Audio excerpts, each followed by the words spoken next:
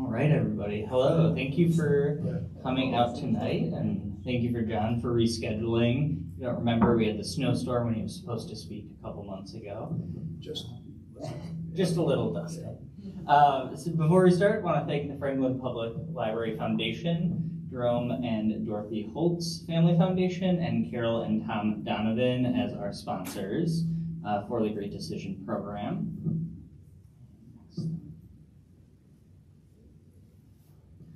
Um, Little introduction about John Katzka. He's a retired senior Foreign Service officer with 37 years of federal and foreign service experience. He's also a Wisconsin native and graduate of the University of Wisconsin Milwaukee. And I think that's pretty much it for the introduction for my part. Um, I- we are now sold out of books, but this is also our last um, session for tonight. And as you can see, this used to be on the 29th. And with that, I will hand it off to John. thank you, Sam. Did everyone, oh, we didn't turn this back on, did?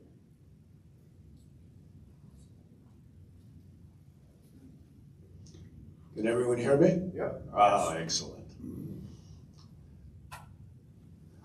Let me tell you a couple of things about myself and what I've done, where I've been, and to give you an idea of what I bring before you tonight. I had, I graduated from UWM, but I had been in the Air Force for four years before that, mostly in intelligence, which for those of you who were in the military know that's an oxymoron. Um, and I went out, I graduated from UWM with a degree, well, I had a degree in political science, history, and international relations. Those were my majors. And I had three minors, so I was busy. Uh, went to Washington to work for the Defense Intelligence Agency as an analyst. Was working on first on Russian Russian uh, oil pipelines, which is appropriate for this particular topic.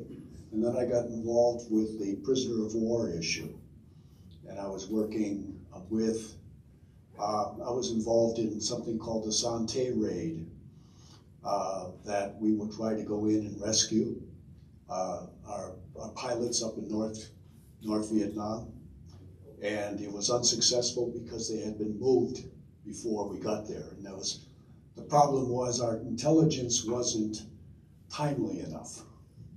So after I was there for a while, I recognized as a civilian working for the, for the Defense Department, I was a second class citizen. Uh, every step I would go up the ladder, there would be a military officer in charge, and if you were at DIA, it was someone who really didn't want to be there from the military side.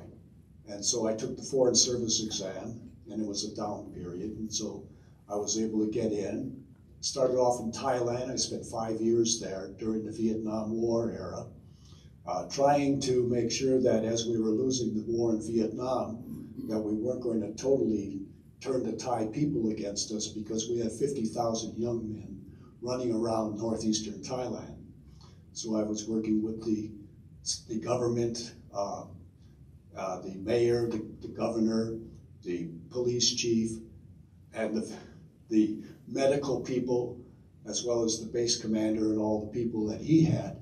And we would meet once a month to talk through these. We had four bases in northeastern Thailand. So my job was to run around all these bases and try to put out little fires. Went from there to Moscow, spent two years in Moscow in the late 70s during the Brezhnev period. Went from there back to a Washington assignment where I was working on policy. Uh, from there, I went to Zambia in Central Africa be, because uh, it was a very interesting time because Kenneth Kaunda, who was the president, was in a position to be able to uh, focus on the Southern African issues. And this was when uh, South Africa was opening up, when, Rho- when Rhodesia became Zimbabwe, and Mozambique came into its own. So it was a very interesting time. From there, I went to Yugoslavia uh, when it was still called Yugoslavia. Spent five years there and left just before it started to have its serious problems and went back to Moscow, uh, where I spent two years, first in the Soviet Union and then finished up in Russia. Uh, and then from there, I went back for another Washington assignment. I was the director of policy and programs for a television network in the US government that worked with uh, television programmers as well as with, uh, we would get PBS kinds of programs to place in, uh, on, on uh, foreign television. Then I went back uh, to, from there I went to Romania, spent uh, two and a half years there, and I retired out of Romania. But after that, they called me back uh, as a special envoy to go back into the Balkans, first into Kosovo uh, after the shooting stopped. And then I went into Belgrade to help reestablish relations. And from there, uh, I, and then I went back into Macedonia, which is now called Northern Macedonia, uh, to uh, after the little civil war. And as a reward for that, they gave me two months in Paris on the left bank, full furnished apartment, a generous per diem, and had a wonderful time. Thank you to the Franklin Library for again hosting Great Decisions. Uh, I tend to write out my remarks. It keeps me more on track. I don't get off on tangents. And it also uh, helps me not get off into areas that I don't want to go into. A study of geopolitics of energy is not outside the influence of realism and idealism. We were chatting about that earlier. Realists look at what's pragmatic, what's where are our national interests in an issue. The idealists look at the values, democracy promotion, human rights. Neither is right or wrong, but both of them have consequences and cost if you follow two, if it's the wrong time for that particular approach. Our foreign policy generally has been highly idealistic. And this goes way back, and this goes to the term American exceptionalism. Take a sip of water here.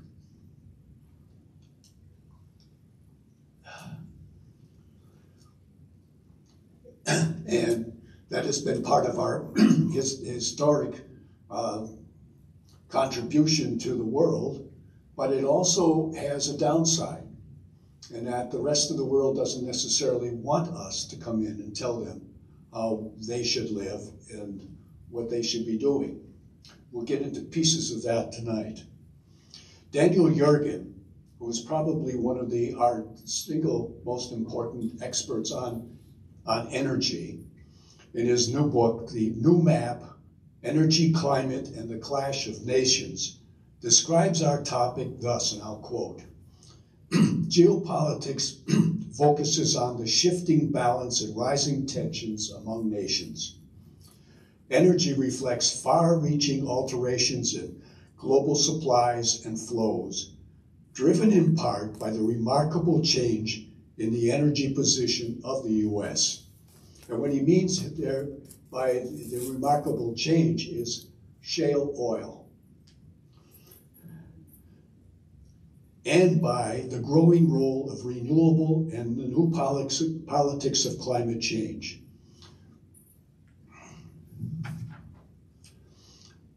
Got a bunch of things to cover, but we should have enough time for your questions and observations.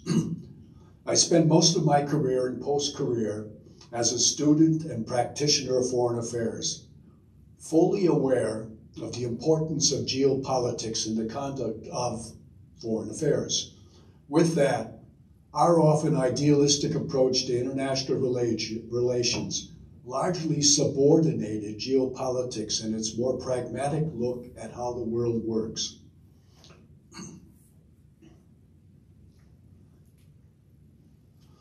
When I think of geopolitics, five dimensions come to mind geography, politics, economics, population, and culture. Some are measurable, others not so much. Geography is easy. Location, location, location. Are we talking about a big, a medium, or a small country? Is it landlocked or does it have sea access? Mountainous or plains, or a mix? Importantly, certainly for this talk, part of geography are our country's resources, and for our purposes, energy. Politics. How are decisions made? Is it a democracy or autocracy, or a mix of both? And very importantly, how stable is the political situation, regardless whether it's a democracy or an autocracy? Economics. How self sufficient is the economy? Or in the case of this talk, what are the energy constraints or advantages? And population. We're going to talk about demography in this case. Well, it means counting how many old people there are and I can see a few gray heads around the room. How many are in the workforce? Are there population pressures or is there a declining population? Stuff like that. Culture. The history and geography of a country tend over time to define the culture. Landlocked people, especially in the mountainous countries are very insular, keep to themselves, suspicious of outsiders. Think of Georgia and Armenia in that regard. That kind of, the people who live in flatlands, especially near the sea, are more open, expansive.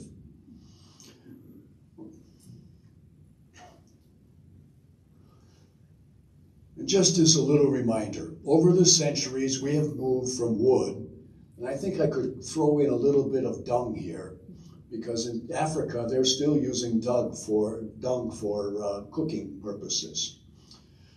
We have moved from that to, to coal, to oil and natural gas, with a controversial spattering of nuclear, to the new technologies of wind and solar. I'll say a few words about other alternatives later. Each of these energy sources brought with it new technologies, often in terms of transportation and in the quality of life. It's also important to note that all of these sources of energy still exist, though economics and alternatives have reduced the use of wood and coal in the developed world, not necessarily the rest of the world. Though energy is a constant in a nation's definitions of its strength, its security, its prosperity, and its survival, it is subject to change and sometimes rapid change, as we are witnessing with the impact of the war in Ukraine. Venezuela found itself on the wrong side of democratic practices several years ago, and its oil was banned by the US. Russia, Russia which has been criticized for its democratic practices, wasn't banned until it invaded Ukraine. Curiously, with the ban on Russian oil, we are now opening up to oil imports from Venezuela, showing how quickly the roles can change. History also shows that access to energy products like oil can drive a country to invade, as did the Japanese in World War II. Japan was almost totally dependent on foreign sources of energy at the time. The Iraq's 1990 invasion of Kuwait had Kuwaiti oil fields as an important goal. Energy is also a key piece in international environmental conferences. And I'll cite the Rio conference in 92, Kyoto in 97, and Paris in 2015. And there's a new kind of development. It's called, well, it don't even actually have a name for it. In 2022, Israel, Israel and Lebanon signed a treaty as a way to clear up who had access to what when there are conflicting lines of control or assumed control between countries. And because of overlapping and we're seeing this in the South China Sea now with, with China and the Philippines and Indonesia and Malaysia and others, that there are overlapping lines that are going to cause problems. China and the Philippines had seemed to be moving in that direction of coming up with an agreement, but now there are serious questions about their cooperation.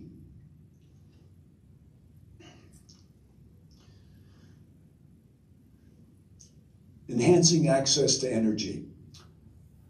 Uh, two, two of these were cited in the Great Decisions booklet that is available in the library.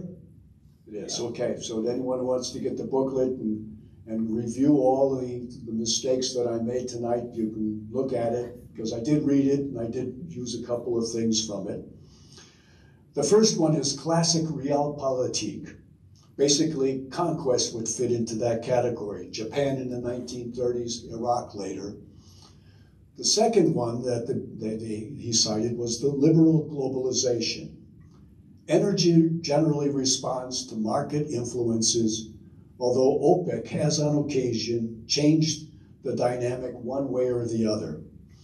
And liberal, in this particular case, is not in the American sense, it's in the European sense. Liberal means uh, tr trade and business oriented almost what you would have thought would have been a Republican position, uh, the old Republicans. And this global, this liberal globalization model is what we put into effect after World War II. Uh, we kind of put together not just the, the economic side, we put together the political side with the UN and the legal side as well. So uh, that will be a theme we'll come back to uh, when we start, talking about how other countries are looking at that. And then to, to those two that were in the, in the book, I've added another one called Grouping Groupings of Like-Minded Countries. And we're seeing that right now with the way Russia is moving oil and gas east to China and other authoritarian states. As the world seems to be moving into a duality of democratic and authoritarian regimes, this last category may be the model going into our near and maybe longer future.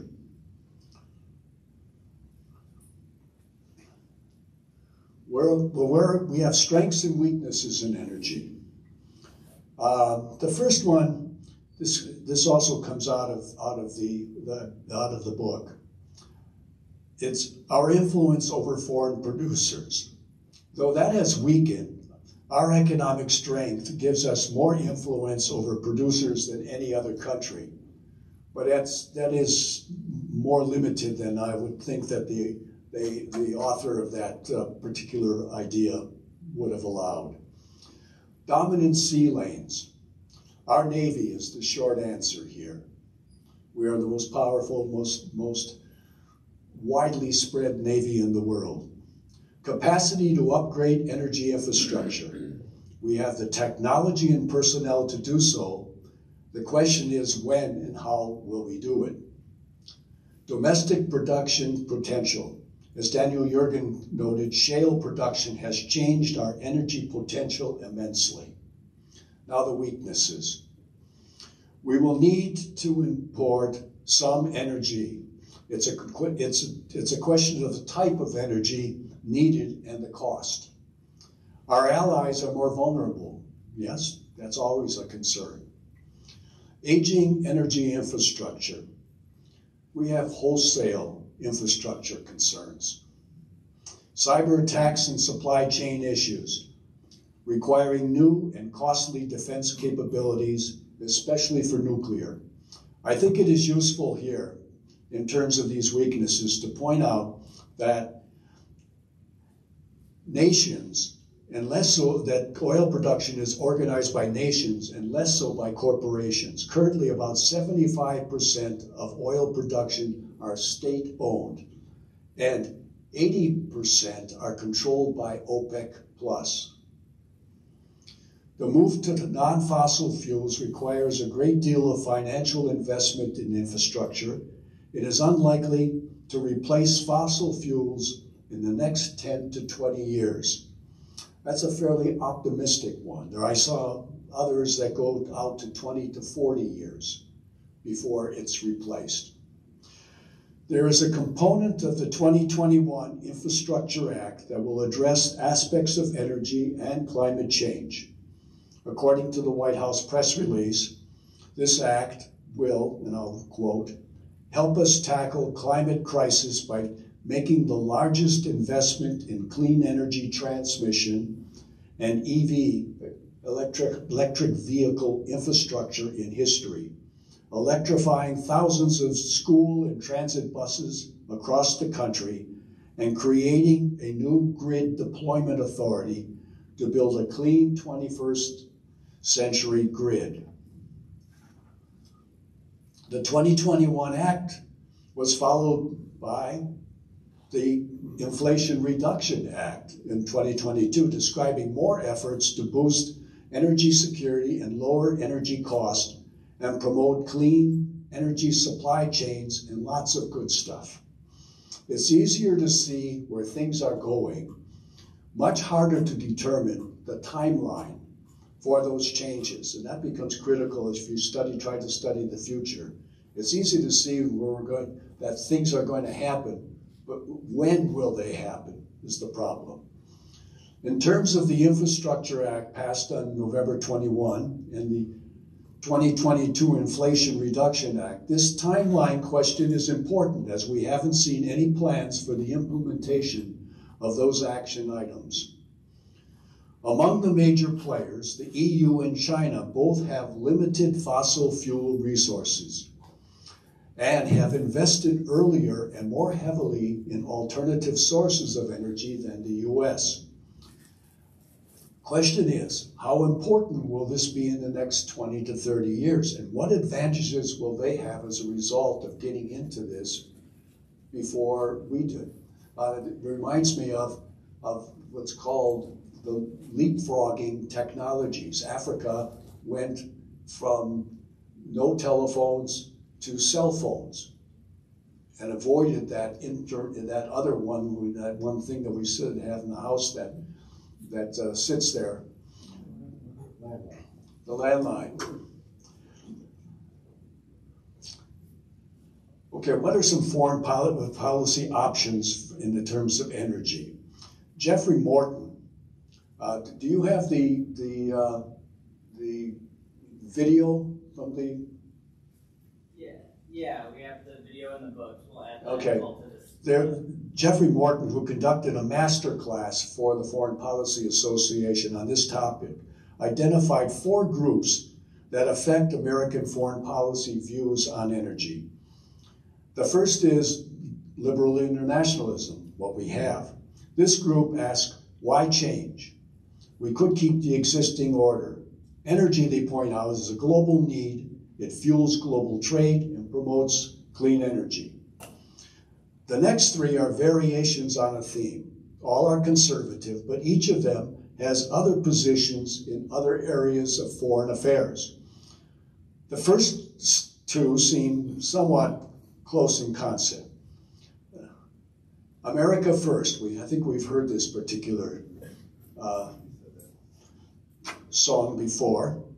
It's a contemporary group of supporters want to focus on domestic production, reduced regulations, direct incentive, government more involved, and climate change is secondary. The realist conservative view, supporters of this view feel that we need to become self-sufficient in energy. In several ways, the realist view has been more or less the model for the U.S. approach to energy over the last several decades, even though it can be seen as contrary to liberal internationalism.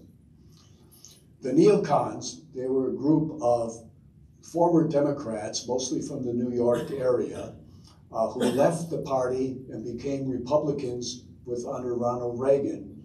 And they were at a highly idealistic foreign policy positions, especially during the Cold War, but some of those who are still among that group are continuing those things today. They also want to avoid dependence, and they want to deny access to rising powers and keep energy resources away from foes. According to Morton, at this time, Americans favor one of the three more conservative approaches. I did say that the realist model approximates what we're really doing in energy for decades, while we were still supporting globalization. So it is possible that there is no contest between liberal globalization and the realist approach as it applies to energy. We like the cheaper goods we get through globalization, but energy is too important to leave just to market forces. Searching the web months ago, even before the snows, looking for what has been written on the subject of the geopolitics of energy, I found that Harvard has had a geopolitics of energy project since 2011. Here I thought I found the Holy Grail. I'm not going to have to work very hard. I'm not going to even need Chat GPT or any of those to be able to write my paper. I was wrong. What I found was strong on organization and less so on substance, at least from what was available to me on the web. Their project aims to improve our understanding of how energy demand and supply shape international politics and vice versa. The study holds that the coming decades will be characterized by dual directions in, in the energy realm. We've actually mentioned this before. Yes, they say the desire to move away from fossil fuels is important, but oil and gas will remain dominant in the global energy mix. At the same time, the energy world will continue to need to find oil and gas to meet growing global demand. Remember, there are a number of developing countries that want to join that globalization club. As has been the case throughout the course of history, this shift in the global energy mix will bring with it major political and security changes. Together, these two factors, that is the drive to find more oil and gas and the shift toward alternative energies will be important determinants of the world in which we'll live. And it's not going to be an easy trade-off on this. They also came up with some realities, and they raised some important points. They pointed out that the changing patterns of economic growth in the developed and emerging economies, there will be changing patterns there. Economic downturns often affect developing countries more profoundly than developed established ones. We're going to see that as it appears that we're moving into a global recession. Further, there are political changes and added pressures for reform, especially in the Middle East. I think this is where they slipped off the off the uh, out of the pulpit and into another phase. The Harvard people may be reading more into the Arab Spring and other social reform programs. I would suggest that the underlying culture in that region, allowing for variations, of course, is autocratic, and near-term suggestions that that will change are questionable. New methods and, me and mechanism of extraction. Certainly, we found economic ways to make shale marketable, though there is a price level and environmental concerns that discounts its utility. Environmental pressures and a need for adequate regulation.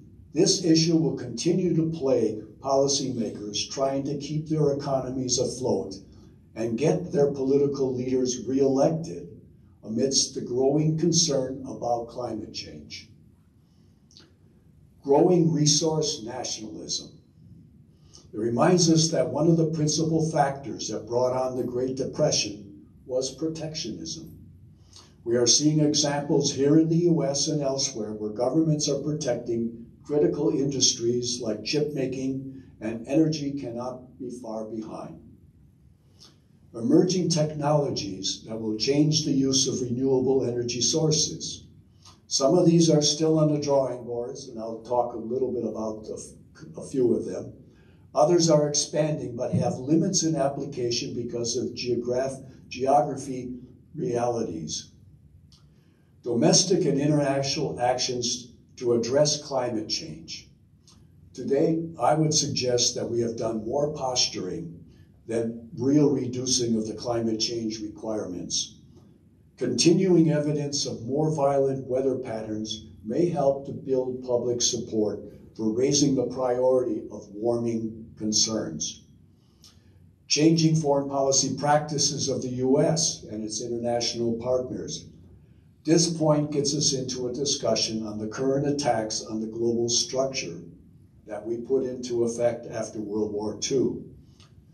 China and rising powers were not party to those decisions, and they feel they need to be renegotiated. National strategies of key producer and consumer countries. We can see the consequences from the behavior of the Saudis and some other oil producers that dismissed our request to expand production because of the war in Ukraine. That kind of behavior is not limited to OPEC. Multinational corporations are beyond the control, if not the influence, of nation states. Johnson Controls, right here from Milwaukee, moved their headquarters to Ireland. Switzerland has a host of countries that are registered as Swiss, but in name only. Like international nonprofits, they are outside the mandate of the United Nations and are a rising consideration in foreign affairs.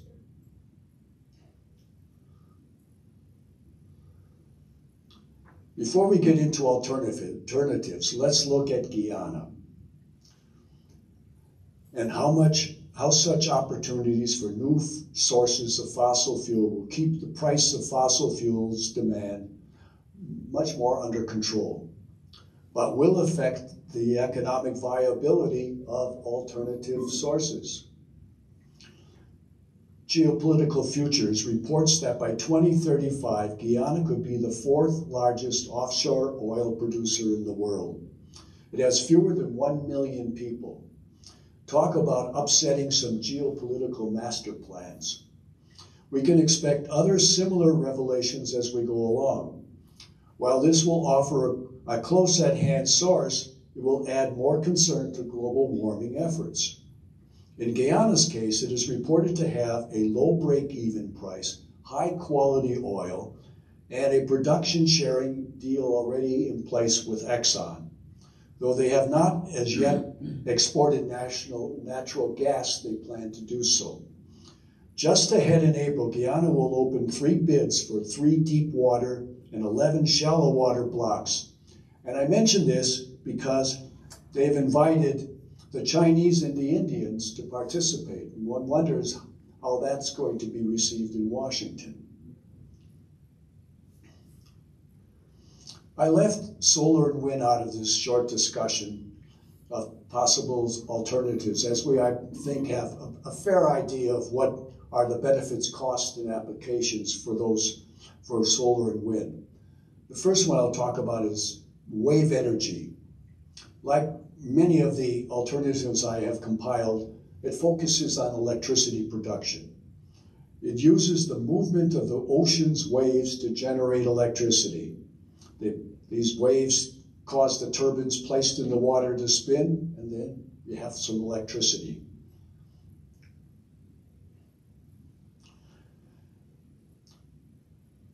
Geothermal energy is captured heat from below the Earth's crust. It is generated from the radioactive de decay in that crust. It can be utilized to heat and cool homes as well as produce electricity.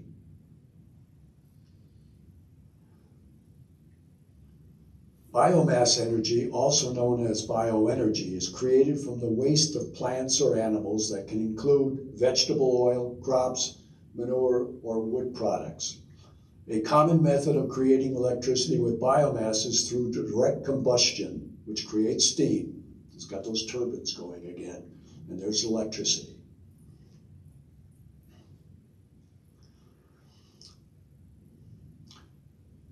We know there are two ways to produce nuclear energy. We are familiar with nuclear fission. It has its, it has its proponents and it has its detractors fusion uh, is according to The Economist, may make a breakthrough in the next five to 10 years.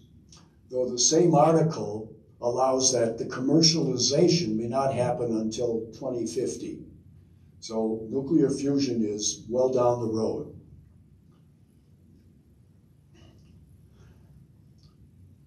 Hydrogen is a clean fuel that when consumed in a fuel cell produces only water.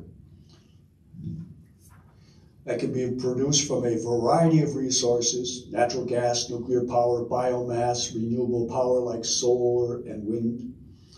These qualities make it an attractive fuel option for transportation and electricity generation applications. We currently use a lot of hydrogen today, mostly for oil refining and producing fertilizer. However, apparently, not all the ways to make hydrogen are green, as they say. Most hydrogen now is made with natural gas, and making it greener would be expensive. The EU is about to lay down new rules for what is acceptable but I suspect the word expensive will be heard again.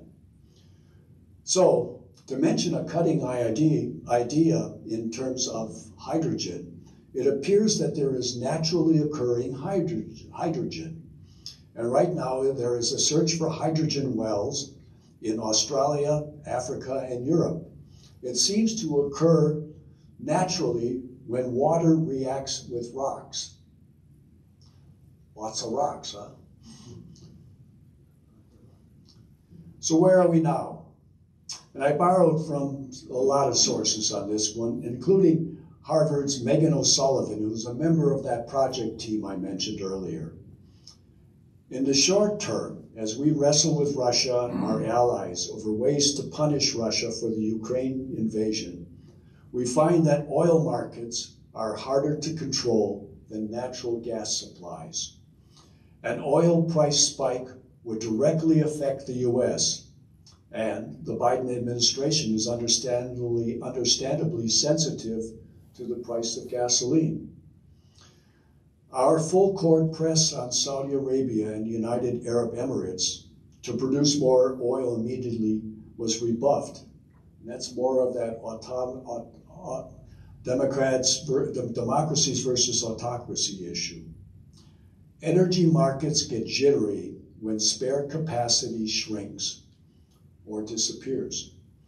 Although exact numbers are unknown, the International Energy Agency and others believe that the world's spare capacity is dwindling in the face of limited investment. Expanded investment, certainly in the US, will result in lawsuits from environmental and climate change activists we can look at the reaction to President Biden's decision to open exploration in the Alaska Willow Project. We can expect that Western oil companies will have an uncomfortable position trying to balance pressures from both sides. We will see more examples like this, this group called Client First, an environmental law firm that recently sued Shell's board for failing to manage risks to climate change under British law. Additionally, politically, it will be more difficult for the Biden administration to release more oil from the energy reserves, considering how much they have released already. Of course, just as with cutting off natural gas to Europe, tampering with oil markets would not be without costs in this case, let's say for Russia. As Daniel Yergin pointed out, one needs to remember that Russia makes a lot more money from its oil exports than from gas. A spike in oil prices would probably displease China, straining Beijing's support for Russian efforts to rewrite the rules of the international order. And of course, that is just what they announced on March 1st. Right now, they were, they were cutting production 500,000 barrels a day, or about 5% of their production. Right now, I have not seen a readout on how this is affecting the market, OPEC or China. It also may have to do with their capabilities of producing as well, since they've been cut off from the kinds of technology that they, they need in order to keep the mines running. There were positives that came out of this winter from NATO's point of view. In Europe, it was warmer than expected, limiting the effect of the loss of Russian gas. Investment in renewable power accelerated in Europe. Though there's that timeline thing. When will these, there are project delays and supply chain issues. However, the word from the developing world is not as positive. Besides the war related grain issues, much of the developing world is mainly focused on fossil fuels and access to them. China will get past this current COVID crisis, but when that will happen and what will be the cost and consequences are yet to be known. President Xi had replaced former Deng, President Deng Xiaoping's plan to rebuild the economy and avoid external adventures. He is now using a, a massive amount of resources that China has acquired in order to be able to press a more aggressive foreign policy. The pandemic, pandemic has been a bit of a monkey wrench in Xi's plans. As he reopens China, how could he she, how's that work out? Returned even temporarily to Deng's plan of focusing on the economy and downplaying political strategic goals. It is suspected that the cost of dealing with COVID has had a negative effect on China's financial reserves, affecting, and are you familiar with the Belt Road Initiative that China has, where they're trying to, both by water and by land, uh, create stable uh, alternative sources of moving goods into and out of China. The Belt Road Initiative is, is in trouble, raising many questions about how China will deal with these predominantly developing countries. Countries in the developing world are not able to pay on the principal or the, on the loans that they have and they China has already taken over a port. I believe it's in Sri Lanka, and they are probably going into other places. The question is, they've thrown so much money into all of this. Uh, some some of it is to buy political will, goodwill. Some of it is to that Belt Road Initiative concept of of, of being able to get access to the resources they need.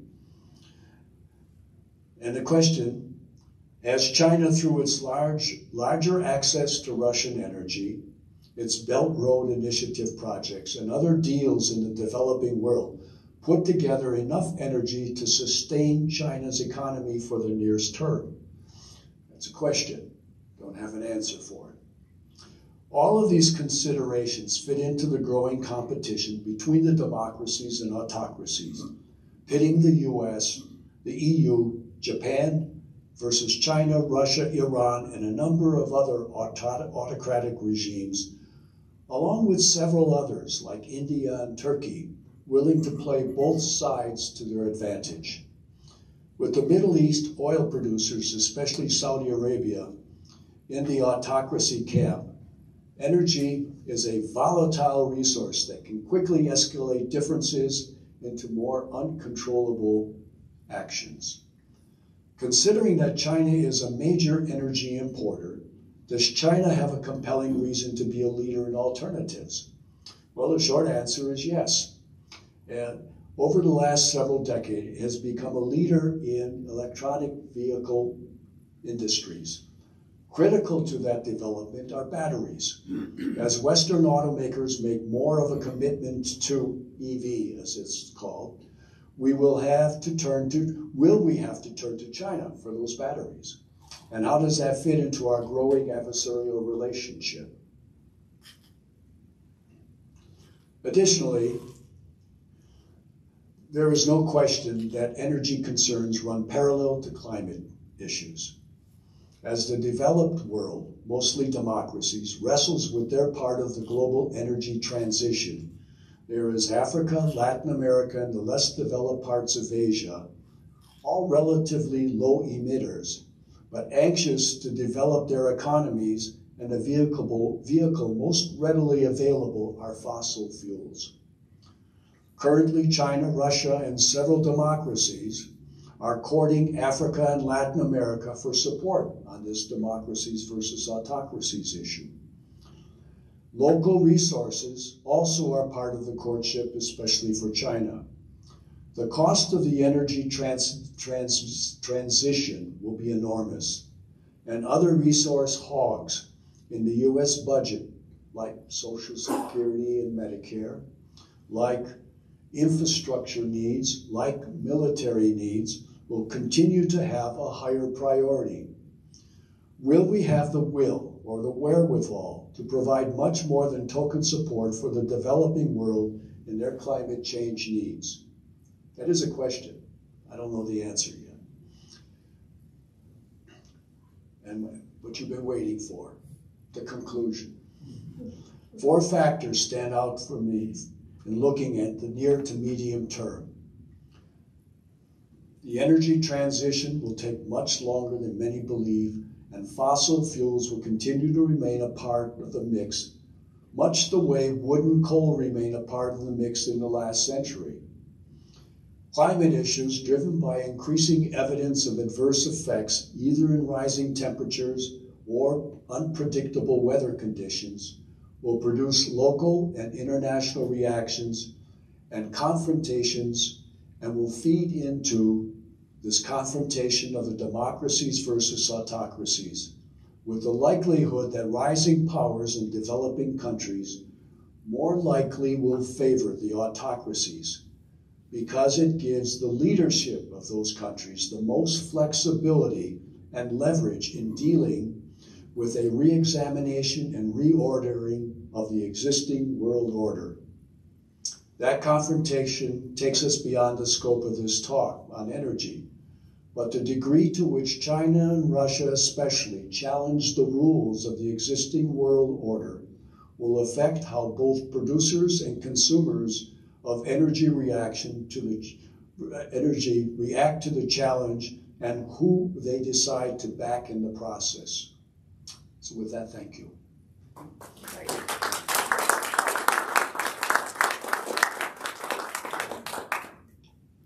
All right, thank you, John. We have time for questions or comments. I'll pass the mic around. Does anyone have one to start us out?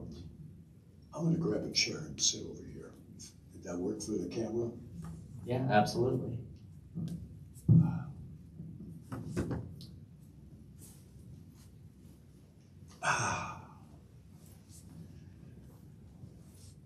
Getting old is not for sissies. Our, our country seems to be, it's echoing, averse to nuclear energy. True, and why? Well, I think it's it started much earlier. It's, I think it's part of that NIMBY thing. Uh, I think it, it, it's kind of like diseases that you can't see. It's kind of like the pandemic we just went through with COVID. There's all kinds of reasons to be concerned, but you can't you can't put it to words, and that's what nuclear power is like. Uh, nuclear should be an important way in which to move out of fossil fuels. Um, they're hopefully they're working on smaller production. Uh, but this is not my area of expertise, so I won't dig too deep into that. Geopolitics is much more, more comfortable in that area.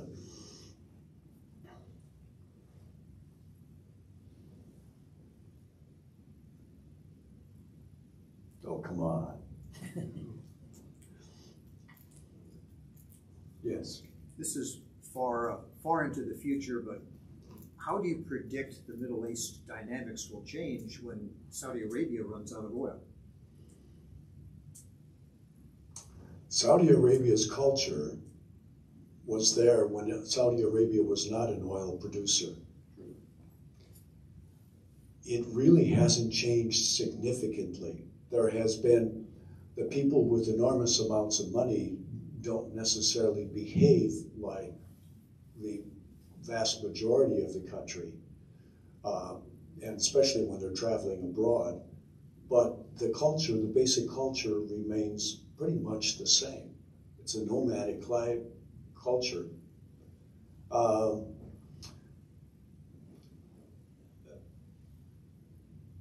we have probably, I think I mentioned this earlier, we probably have four or five cultures in the United States. We can see some of this coming out as we talk about our divisions within the country. Uh, the South has a, South has long had a different culture. There's a, a good book about the, the nine nations of North America. I think that's what it's called and includes one from uh, from uh, Mexico and one from Canada. But basically, it starts off with the founding of our country, with New England spreading along to include the Midwest, including Chicago, and pretty much into the Plain States. And the Thomas Jefferson area, the title area kind of didn't spread out as much. But Appalachia, which was right next to it, the Scots and Irish that were in Appalachia spread out. And that's, that goes through the rest of Illinois south of Chicago. And anyone who spent a lot of time in Illinois knows that there is two different cultures between Chicago and the rest of the state. Uh, the West Coast is very different. And well, and then the, the, the other group, which was the fourth and fifth sons of British uh, nobility, who were sent off because they were one brother went into the military, one went into the priesthood, into the into the religious community, and they had to do something with those sons. They sent them over to the U.S. and gave them land, lots of land in the South, and they created those plantations and that spread along the southern side of the United States. So those that that's the premise of that of, the, of this book I'm talking about. I can see you know there there how the difference between a someone I know who's down in near uh, Champaign Urbana and their political outlook and economic outlook, which is very different from what I see up here. Uh, definitely I can see that when talking to people who come up from the South. Not necessarily the big cities. The big cities are more like each other than they are like, like the rural, more rural parts of the, of the area. So culture is a, good place to look at culture. Is I can talk with some some authority is about Russian culture, and everyone's wondering when is Russia going to implode? Well, in Russian culture, this is nothing. This is no big deal. Uh, the loss of lives is not a is not a critical factor. Individuals are not important. It's the group. It's the nation that's important. And there people take a, a not not everyone. Russia has had has has had a steady over its history a certain percentage of people who were not comfortable in that kind of cultural environment and left. Well, it's happening again now. Some of it kind of like the Vietnam War when our when a number of people fled up to uh, Canada to avoid the draft. There's, that's going on in Russia as well. But it's it's the it's the group that matters, and so th throwing lots of troops at a particular point and having high casualties is not going to phase Russian culture as much as, as we look at it and are, are appalled by it. I'm delighted that I live here, but I try to understand where they're coming from.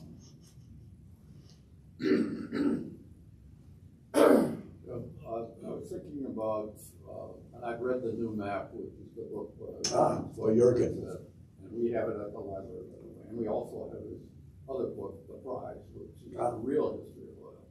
But in uh, one thing that's happened recently is, I see it, Saudi Arabia, we used to import their oil, and that's changing. Uh, and our biggest customer now is China. not so much the US. And they're, matter of fact, they signed an agreement, they're gonna, uh, buy their oil, not in dollars, but in yen going forward, okay? And, and I think we've lost, we used to have Saudi Arabia as our, our real ally in some situations, not totally, but more so than not. And I think that's changing our uh, alignment with Saudi Arabia, I think because of the oil, uh, uh, consumption going to China. Uh, I hope that relationship stays, but I think it's gonna be very challenging. Well, this is where that realist versus the idealist approach comes in. Uh, during the Cold War, we supported a dictator in Congo by the name of Mobu- Mobutu, who was as nasty a, a person as you could find. And we supported him partly because if he was replaced, and we've seen this in other places where we've been messing around recently, when you take on a dictator, what happens after he's out? There's a vacuum, exactly. And, and when you're in a competition with another ideology, as we were at the Soviets at that time, dealing with that dictator was less of a, it's kind of like I approach elections these days. It's called the lesser of evils. So you, you go through all the, the, all of this stuff and you listen to all the stuff they have to say, and then you say, I don't like that, I don't like that, but I don't like that one not as much as I don't like that one. Well, that's what foreign affairs can be like. Henry Kissinger was probably the most realist oriented Secretary of State we had. Uh, and I moan his passing and that's from that office. We get very emotional about our foreign affairs. We, we, we take on, we look at, we look at Ukraine, we look at this President Zelensky, and, and we're saying, this man is fighting against this evil giant. Well, it's much more complicated than that. It's much more complicated than that. It's not to excuse Russia for what it's doing, but from their point of view, this is this was 30 years in the making, and we participated in that process by pushing NATO closer and closer to Russia and offering Ukraine, which had been part of Russia since 1654, and offering Ukraine membership in NATO was just a, a bridge too far. You know, Bush actually offered that up, but I don't think any of the European allies were on board with that. Uh, Because they never took any formal steps to. we have we we have stayed in NATO because it gave us a a inside track in European affairs, an important military side of it, political side of it. The Europeans are not happy about that. They would prefer, French especially, would prefer that we just stay back here and mind our own business, other unless there's unless they need us. I spent most of my career with the idea that you tell the French just the opposite of what you want them to do. I never practiced that, but it was a thought in the back of my head. So, You want to give the, on the other hand, regarding Ukraine, because you said it's not as Yes. clear, and it, uh, Zelensky is maybe not this, well, Zelensky is is is is is was first of all he was a comedian, and he has found a wonderful stage. Oh, he is very good at it too, and so I'm, not taking that away. Um, I said 1654. Russia, the Ukrainians, the Zaporozhye Cossacks, and these were mostly Russians that came down. Go back before that to the ninth century when it was the Kievan Rus on the border on the on the Volga River. Not in Kiev, but the Kievan Rus And, and the Rus were Scandinavians that were invited, royalty that were invited to come in because the, the, the, these, these Slavs didn't feel that they could manage themselves with, with Constantinople being so close down the river. And so uh, the Rus came in, and that's where the term Russian comes from, is from those Scandinavian, it's a Scandinavian word. Uh, so 1654, the hetman of the Zaporozhye Cossacks got tired of the Poles trying to make them into Catholics and, and said, we're Orthodox. So we're gonna, we're, we switch our allegiance to it was, I think, Nov, Nov, Nov, Novgorod at the time was the capital. Uh, and so they switched their allegiance. At that point, Ukraine was a landlocked country. The entire southern part and the entire eastern part was controlled by the Ottoman Turks. In the 1750s, Russia took all that away, including Crimea. Uh, Crimea for a Russian is, is kind of sacred. It is also strategic for the Russians, and it's always considered to be Russian. Odessa is a Russian city, uh, predominantly Russian and Jewish city. So, so 1750s, and then they began their eastern expansion out to the Pacific Ocean. So those are factors. This is how, at the end of the, of, of the Soviet Union, and I was in Moscow at the time when it all came, came to an end. I was there through the coup attempt when, when Gorbachev was down in the Crimea, in the Crimea, uh, at his the, at the, the, the premier's guest house, and it came apart, and and uh, it was uh, Yeltsin conspiring with uh, the guy from from from Ukraine. His name jumps out, uh, jumps out of my head. Who sat down and said, "Let's give, let's break this old model." And so they said, and they convinced. Uh, we were we were not happy about this. We this is when Baker was making speeches saying, uh, "Be careful about what you do." And, and there was, and, Bush at, at what that time went down to Kiev. I actually went down there with him because he had been in Moscow before that. And, and, and advised the people there to be careful about how they proceeded. Bush Sr. was a much more pragmatic viewer of foreign affairs.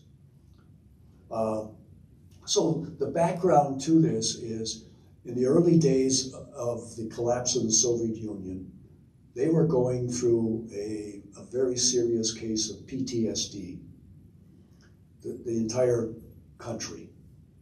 And we were running all over the place on them. I mean, I, we had academics pouring in. We had, uh, at the time of the, of, the, of, the, of the coup and the collapse, we had 200 American correspondents in Moscow. Only about five of them spoke Russian. So they were coming to the embassy looking for handouts. So they could, and we had, you know, every member of Congress had to come at least once or twice. And every cabinet member had to get there. And they had to have photo ops when they were there because they wanted to show their, their constituents, you know, we are there and we saw what's happening.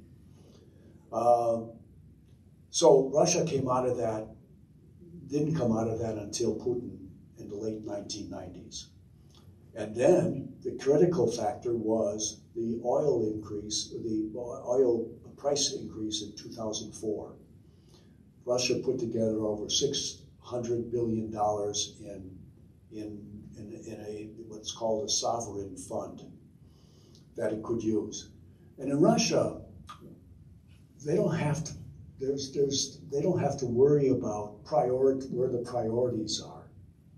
The priority is, is on national security, first and foremost, possibly also on regime, uh, regime protection. So I'll allow that to be part of that.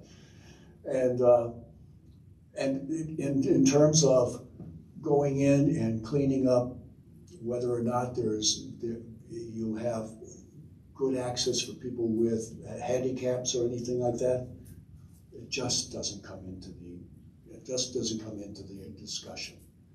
It's, it, the prior, that's why Russia as a, an economy probably around the size of Italy's, maybe even a little smaller, can be a world power simply because they will focus their resources on being that power. They don't necessarily do it brilliantly. They don't necessarily do it with finesse. It is very direct.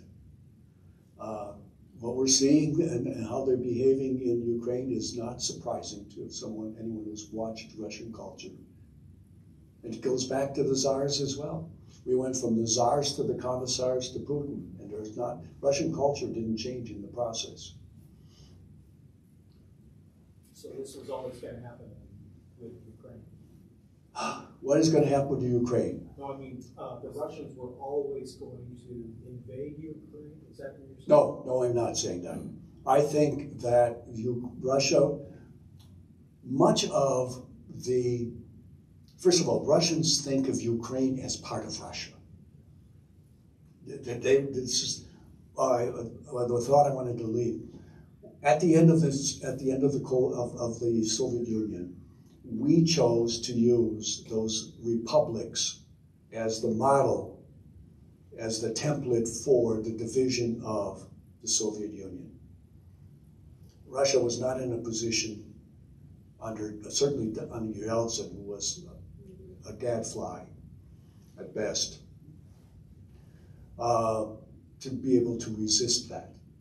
And there was also, I can understand why these other places would like to. But we're also going to see is that Russia is such an important factor in that in their life, that area that they have they're naturally connected. We're watching the stands right now, Kazakhstan and Kyrgyzstan, we call them the stands. Uh, they're now they're being investigated for serving as as a conduit for uh, supplies into Russia. Well, I wouldn't be surprised at all that's going on. I think Turkey and, and other countries are doing the same. China's uh, just invited the stands to one-on-ones with Chairman Xi. Yes, he, well, he just went through there as on his trip to Moscow. Yeah. Watch this autocracies versus democracies thing. Uh, they have some advantages, meaning they can make decisions a lot easier than we can. I'm not sure we can make decisions anymore. But uh, in the long run, when they make, look at how China reacted to COVID, shutting down the whole country, and now have had to back off of that. And at, in ways, basically are starting over again because they're, they're having to go through this. But they can shut the borders and, or they can shut off the information flow. And so we're not really looking at it. We get pieces of it popping up in, in various chat talks. So they have some advantages and we have some advantages. Uh, it would be nice if we could put our, our house in order, but I'm not sure we're ready for that yet. You know, you said that, uh, uh, that Zelensky was uh, good at what he does. You know, he's kind of an actor. I mean, uh, yes. The last time we had an actor in office, he did pretty good. Yeah. The last time, was, yeah, yeah. Reagan guy, right? Yeah. Yeah, I think that we have maybe time for one more quick question and then we'll have to wrap this up. I was just wondering, um, because I know a large portion of Ukraine is Russian. A lot of people in Ukraine are glad that they're being invaded. But where did Ukraine get all their energy to heat their country this winter? Well, first of all, it was a, a milder winter than everyone than anyone expected. Um, uh, there was there was uh, uh, gas flows coming back from Poland over the same pipelines that were sending the, the gas forward. So I don't first of all, there's a whole bunch of places in Ukraine where it isn't really very nice to live. And there's an awful lot of Ukrainians who have left. So that, that it's cut down in that regard. And I bet they're back to burning burning furniture and things like that is in a war kind what happens in a war warlike situation. Well, did I answer your question in terms of it's more complicated than? Yes, you did. Okay. What do you think about the general U.S. foreign policy, where we always seem to be backing the underdog? Like in, in Iraq, we had uh, we went against Saddam Hussein, and in Libya, we, we ousted. Um, Well, we went, actually, we were more on the back page on Libya because I think the Europeans took a more aggressive position there. But Afghanistan, I mean, I, I've said this before, not to you. If we had gone into Afghanistan, and in, in those of us who were there, and I was in, actually in Macedonia at 9 11, and uh, watching, uh, CNN was always on, but the volume was off. And so I glance up and I see smoke coming out of it. And then I'm almost literally, I'm starting to focus on this. And, and a plane goes in. I run down the hall, grab the ambassador, pull him off because he couldn't have a television in his office. Surveillance and things like that. And so we watched this. Um, the country was angry. I mean, there was there were a couple of people who say that they were against what we did, uh, but they were really in a very small. We always have someone who says they're against what we want to do.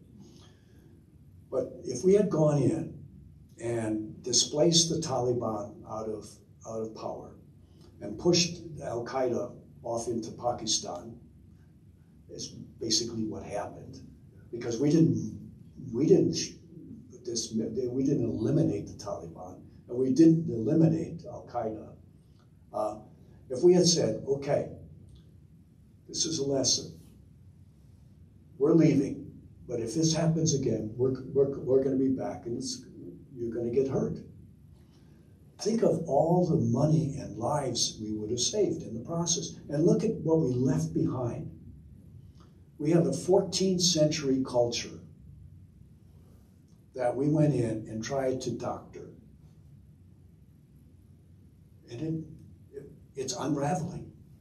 And the people who are there who were who were enthusiastic about receiving what we were what we were saying are the victims.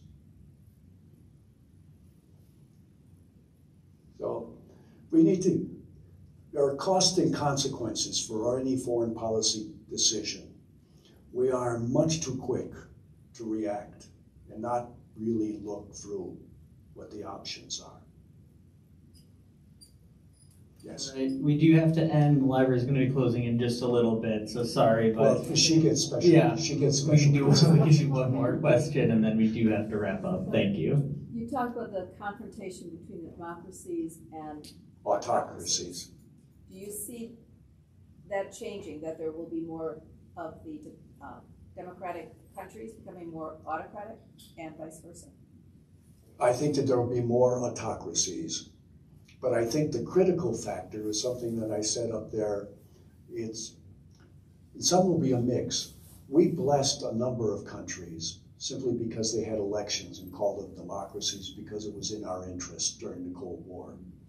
Uh, just having an election is not a democracy.